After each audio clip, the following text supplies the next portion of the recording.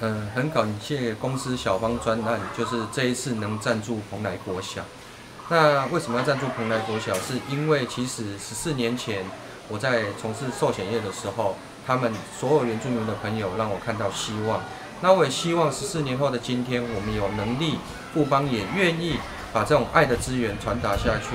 那我们这次能争取这个校园魔术师的专案，就是希望能让小朋友有一个。美好的一个学习环境，因为我觉得他们是下一代的希望。那因为在蓬莱国小的所有校舍里面，其实全部都是发霉的，那这个空气是非常不好。我觉得对小朋友未来的成长也好，学习也好，都会有所影响。但因为他们是台湾未来的希望，那我们也希望把这样的爱传递下去。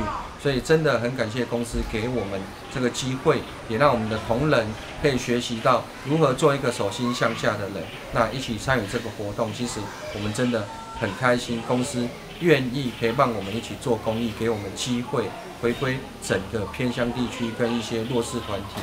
那也希望未来公司能多给我们这样的一个机会，继续把爱传递出去。